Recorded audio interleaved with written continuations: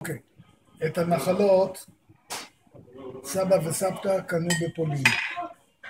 הם קנו את זה בכסף, 200 דונם.